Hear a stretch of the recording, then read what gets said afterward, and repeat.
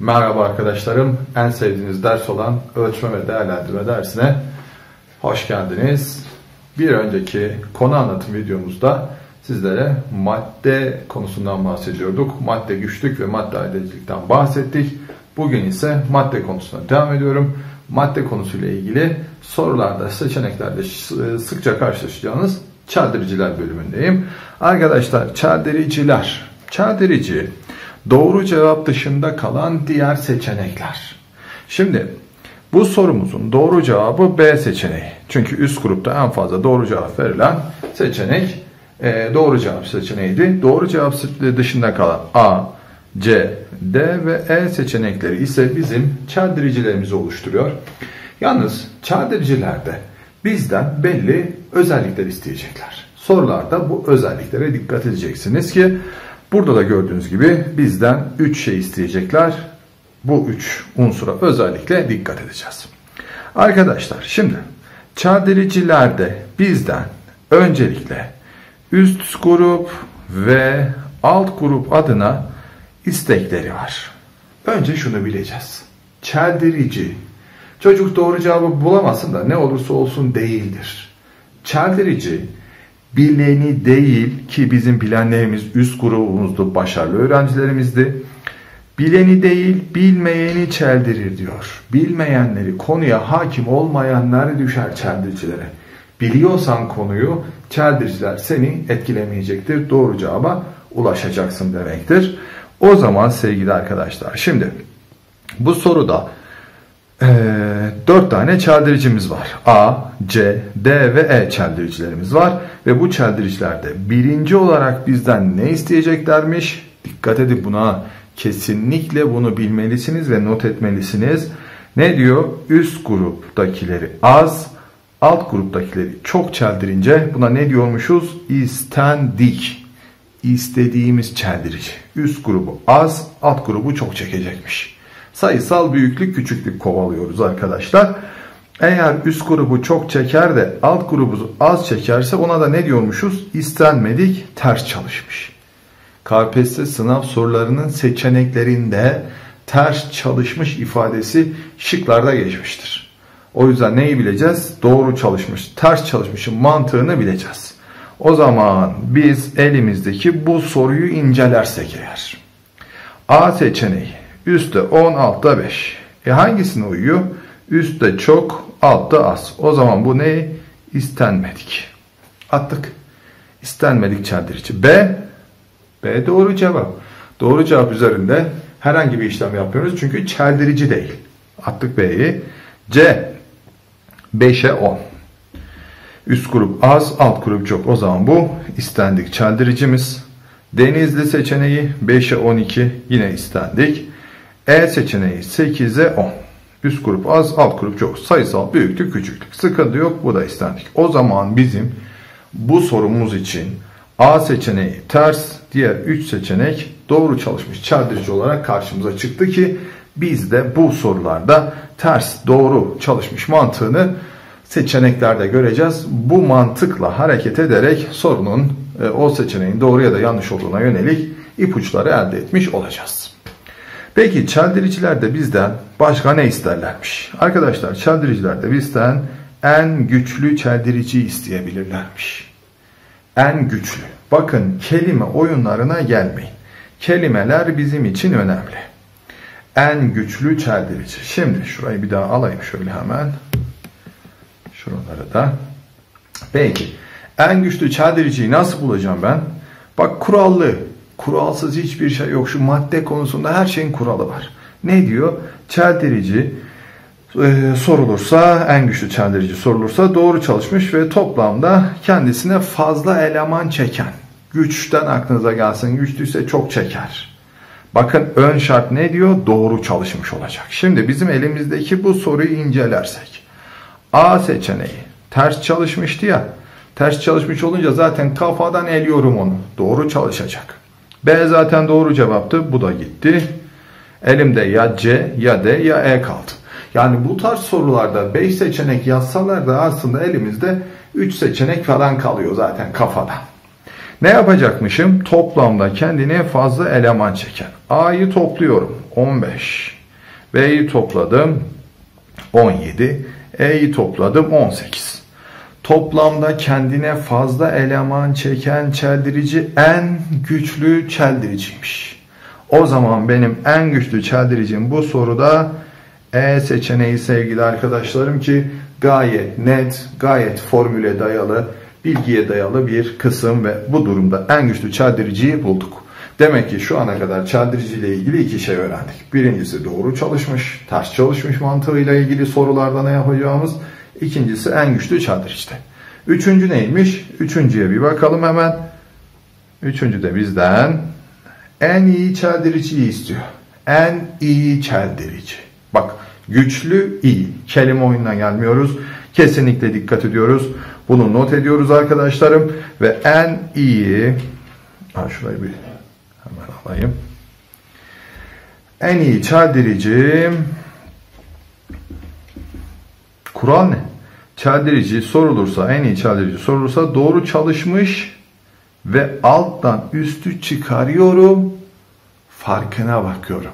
Güçlü de topladım, iyi de çıkaracağım. Bak dikkatli oluyoruz arkadaşlar. Ve bu anlamda doğru çalışmış olacağı için A yine gitti. B doğru cevaptı zaten çeldirici değil. Elimde yine 3 seçenek var. O zaman C seçeneği için en iyi ararken 10'dan 5'i çıkardım. 5 kaldı. 12'den 5'i çıkardım. 7 kaldı. 10'dan 8'i çıkardım. 2 kaldı. O zaman çıkarma işlemini alttan üstü çıkardığınızda farkı fazla olan seçenek de en iyi çeldirici oluyor. O zaman bu sorunun en iyi çeldiricisi Denizli. En iyi Denizli, en güçlü neydi? E seçeneğiydi. O yüzden güçlü ve iyi aslında ki şu sayılardan çok rahat şekilde görebileceksiniz. Kuralları unutmuyoruz. Güçlüyse toplar, kendine çok çeker. Unutmayın. İyi, iyi çalışmış. Bizim iyi çadircimiz ne? Bileni değil, bilmeyeni çekecek diye o mantıkla en iyi bu işi hangisi yapmış düşüncesi ve böylece çeldiricilerle alakalı 3 tane unsur sorulacaktı. Bu 3 unsurla ilgili artık bilginiz var rahatlıkla madde güçlük, madde aydecilik, çadiricilerle ilgili seçeneklerde ne yazarlarsa yazsınlar artık çok rahat şekilde çözeceksiniz. Sıkıntı yok. Peki başka buradan ne gelebilir hocam? Ya bundan çok da fazla bir şey istemeyecekler bizden. Hep e, yorum istiyorlar ve biz de yorumlarımızı yine yaparız. Yalnız, yalnız burada çok nadiren binde bir görüyoruz. Şöyle aşırı derecede boş bırakan olursa, yani düşünsenize bu soruda toplam üst grupta 50, alt grupta 50 olan bir durumda. İşte 28-29 kişi üst gruptan, işte 37-38 kişi de alt gruptan boş bırakmış olsun. Ya çok büyük rakamlar. Bu kadar adam boş bırakmış. Arkadaşlar aşırı derecede boş bırakan olduğunda şöyle düşünebiliriz. Sadece bir yorum bu. Kesin bir bilgi değil. Yorum itibariyle şunu söyleyebilirsin. Ya soru yanlıştır. Soru yanlış olabilir. Hatalı bir soru. Cevaba ulaşılamayan bir sorudur şeklinde bir yorum yapabilirsiniz. O yüzden çok boş bırakıldığında böyle bir düşünce oluşabilir bizlerde. Anlaştığımıza inanıyorum ve o zaman çeldiriciler konumuzu tamamladıysak madde konusunun ikinci boyutuna geçiyorum. Bakın kaynaklarda burada çok soru var. ÖSYM sormadı. Kaynaklar hep soruyor. Ya hocam işte kaynaklar soruyor, ÖSYM sormuyor. E ne yapalım arkadaşlar? Kaynaklardaki sorular ya da denemelerde karşılaşınca canınız sıkılmasın diye şimdi size bu madde konusunun ikinci boyutundan bahsedeceğim. Kağıtlarımı alayım şöyle kenara. Nedir bu boyut derseniz hemen şurayı da aldım. Arkadaşlar konumuz madde varyansı, madde standart sapması ve madde güvenilirlik katsayısı. Of formüller hocam ne yapacağız? Bir şey yapmıyoruz. Sakin sakin ne yapacağız?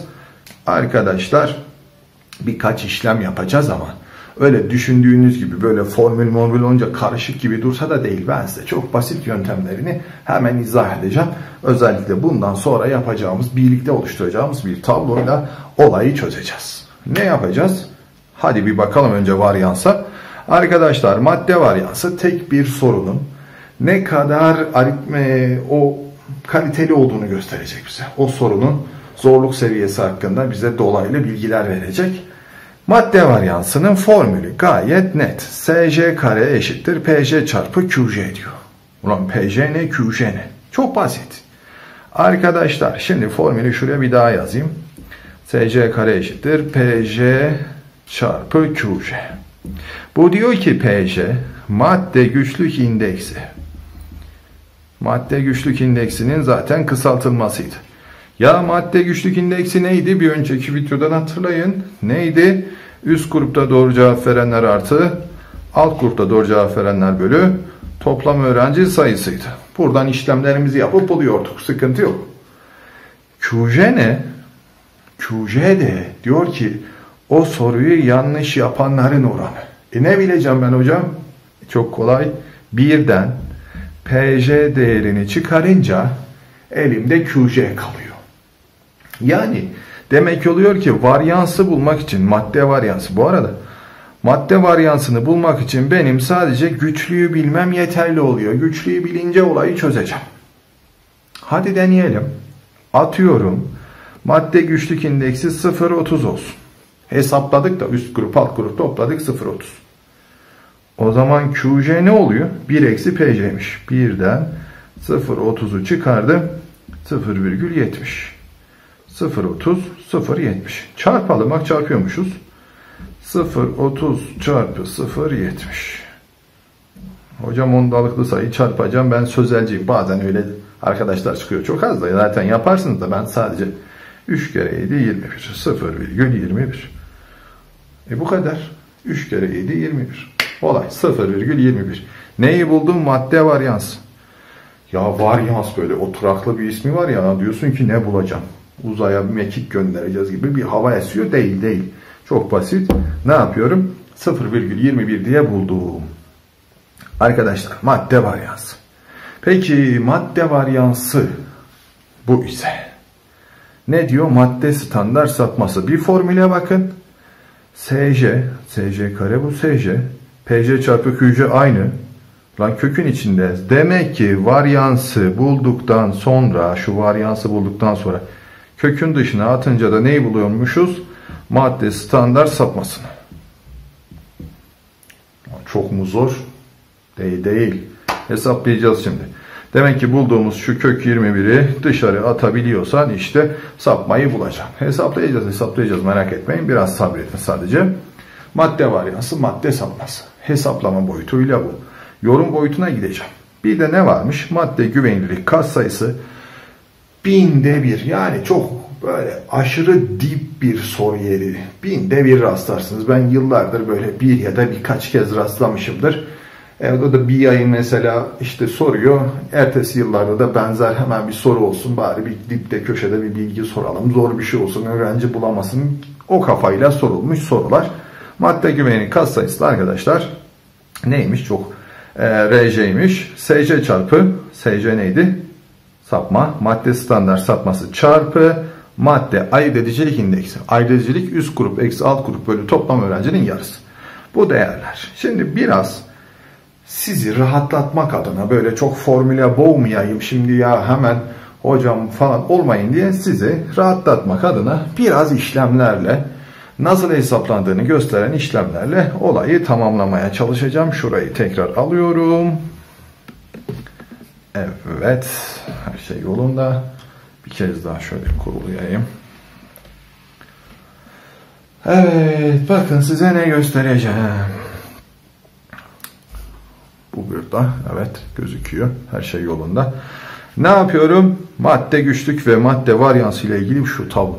Şunu not edin, şunu not edin. Bunu bilen arkadaşım madde varyansı sapması kaynakta sorduğunda şunu yapıştırdı mı olayı çözecek. Ya formülü formülü, geç formülü formülü. Bura bizim için önemli. Çünkü Madde güçlük indeksi 0 ile artı 1 arasında değişen değer alır. E neydi? Varyans bulmak için sadece güçlüğü bilmem yeterdi. E güçlüğü biliyorum. Bakın burada yazılı ben şöyle aşağıda biraz daha not etmeye çalışacağım. Madde güçlük sıfıra yaklaştıkça zor olur. 1'e yaklaştıkça kolay olurdu. Hatırlıyoruz bunları. 0.40 ile 0.60 arası da orta güçlüktü. Ha, güçlük değerlerinden bazılarını yazdım. Başka değer almaz mı? Ara değer de alır. Sorsun sıkıntı değil de. Bu mantığı biliyorsan çözersin. Sıkıntı değil. E ne yapacağım şimdi? Hadi biraz işlem yapalım. Varyanslarını şurada yazdım da beraber hesaplayalım. Bakın. Madde güçlük indeksi 0,20 olsun hadi. Madde güçlük madde güçlük 0,20 o zaman neydi bu? PJ değerimizdi. Karşı taraf neydi? 1 eksi PJ idi. E 1'den 0,20'yi çıkarırsam 0,80 kalır. 0,20 çarpı 0,80 yaptığımda 2 kere 8 16. 0,16. Bakın 20 olduğunda 0,16 oluyormuş. Zor mu? Değil. Bakın şimdi geldim 0,80'e. Madde güçlük 0,80 olsaydı. Şurayı çizeyim. Madde güçlük 0,80 olsaydı 1 eksi 0,80 80'i 1'e tamamla. 0,20 yapar mı? E 2 kere 8 16 o da 0,16 oldu. O aynı değer. Varyans bakın iki farklı noktada aynı değeri alıyormuş. Bak çok önemli ha. Yorum istediğinde pat diye yapıştıracağım. 0,16 burada, burada da aynı. Bakın madde güçlük 0,10 aldığında 0,09, 0,90 olduğunda 0,09. Madde güçlük 0,40 olduğunda 0,24 oluyormuş. 60 olduğunda da 24 oluyormuş. Lan hep aynı. O zaman şöyle söylesem yanlış olur mu? Madde varyansı iki farklı noktada, iki farklı güçlük değerinde aynı değeri alır. Doğru mu? Doğru. Madde varyansının tek değer aldığı ve en büyük değeri aldığı yer nere? Orta güçlük arkadaşlar. 0.50'de sadece. Madde varyansı en büyük değerini alıyor. Soruların %80'i bunu soruyor sana. Ne diyor? Madde varyansı en büyük değer. Ne zaman olurmuş? Orta güçlükte. Neymiş? 0.50. İşte bu. Gördük değil mi? İki farklı noktada aynı değerleri aldığını. Soru 0, e, güçlük 0 olduğunda varyans 0. Güçlük 1 olduğunda da 0'mış. Demek ki şöyle kenara doğru açılıyormuş. Anlaştık? Peki sapmalar ne? Sapma neydi? Varyansın kökün dışına çıkmış hali. E çıkaralım. 0 kökün dışına çıkarsa 0. 0,09 kökün dışına 0,3 çıkar. Demek ki sapmayı hesaplamak için varyans zaten hesaplanmak zorunda. 0,16 olduğunda ne oluyor? 0,40. 0,21 kökün dışına çıkmıyor. Çıkmazsa sormazlar yani. Böyle sırf sayısalcılara yönelik soru sormuyor. Sözelci arkadaşlar da var. Soracaksa kökün dışına çıkan soru soracaktır. Sıkıntı yok. E sapmanın en büyük hali neymiş? 0,50. Ne zaman olurmuş? Orta güçlükte. Şu en büyük değerleri sakın unutmayın ha. Soru gelecekse şu ana kadar sormadı ÖSYM ama sorsa bu en büyük değerleri soracaktır muhtemelen. O yüzden bunlar önemli. Ne yaptık? Sıfıra yaklaştıkça da tekrar bakın varyansta olduğu gibi aynı değerleri almaya başladı. Güçlükler, varyanslar, sapmalar kenarlarda küçülüyor, ortada büyüyor. Zor muymuş? Değilmiş. Ne yapacağım? Hemen herhangi bir değer e, tekrar bir hesap yapalım. 0.40. Güçlük 0.40. 1'e tamamla kafandan 0.60. 6 kere 4 24 0,24'müş. Bak ne kadar kolay. Kökün dışına çıkıyorsa zaten sapman çıkmıyorsa sormazlar. Hiç sorun değil. Evet şimdi güvenilirlik açısından bunu yorumlamamızı isteyecekler bazen. Kafalar karışıyor bazen. O yüzden dikkat edin buraya da. Ne diyor? Bakın soru zorlaştıkça bak şurayla burayı bağlıyorum. Soru zorlaştıkça güvenilirlik azalırmış. Ya hocam sor soru daha güvenilir değil mi? Değil. Sorun ne dediğine bakacaksın. Seçme sınavı mı, başarı sınavı mı? Dikkat etmezsen sıkıntı çıkar. Dikkat edeceğim. Ne olacak? Soru zorlaştıkça güvenilirlik azalır. Orta güçlükte güvenilirlik artıyormuş bak. Bunun hem güvenilirliğe hem varyans sapmaya yorumlayın. Varyans büyüdükçe güvenilirlik artar. Varyans küçüldükçe güvenilirlik azalır. Bak iki tarafta da azalıyor. Çok önemli şeyler. Şu tablo sana bu konudaki her soruyu çözdürecek. Hocam ben bunu biliyorum. Not ettim, yazdım notlarımda var. Hatta işte yazdım dolabıma da astım şöyle her gün karşımda şöyle arada bir bakıyorum falan desen de şu bilgi sana her soruyu çözdürecek. O yüzden bunu zaman içerisinde hafızanda yer edecektir. Hiç sorun değil. Ne diyor bak ekstra bir şey daha var. Bak ne diyor? Homojen heterojen. Soru zorlaştıkça grup homojenleşir. Soru kolaylaştıkça ne olurmuş? Homojenleşirmiş. O zaman varyans küçüldükçe grup homojen. Sapma küçüldükçe grup homojen. Büyüdükçe grup heterojen oluyormuş. Ya çok net. Bak orta güçlüğü bilince ortada ne olduğunu kenarlarda büyüdükçe küçüldükçe aynı yorumlar yapılıyor. O yüzden sizden istediğim şey sevgili arkadaşlar bu tabloyu çok iyi bilmeniz. ÖSYM sormuyor üstüne bastım. Nedir? Ne soracak? Sorarsa eğer. Ne soracak? Şu orta güçlüyü soracaktır. Aşırı teferruat yapacağına pek ihtimal vermiyorum arkadaşlar. Zor bir konu muydu? Zor gibi duruyor ama şu her şeyi çözdürecek bize. O yüzden ben bu kadar sıkıntı yaşayacağınızı düşünmüyorum. Daha sonra beraber soru çözerken bunları tekrar hatırlatacağım sizlere sevgili arkadaşlar. Ne yaptık bu dersimizde? Çeldiricilere baktık. Çeldirici, istendik istenmedik çeldirici. Sonra en güçlü çeldirici, en iyi çeldiriciye baktık. Varyans, sapma, güvenilirlik diye bunlar madde ile alakalı. Madde varyansı, madde sapması diye. E ne yaptık? Bunların nasıl hesaplandığını ve nasıl yorumlandığını da şöyle görmüş olduk. Hepinize teşekkür ediyorum. Dediğim gibi bu konuyla ilgili soru çözerken buraları tekrar hatırlatacağım. Kendinize iyi bakın. Görüşmek üzere.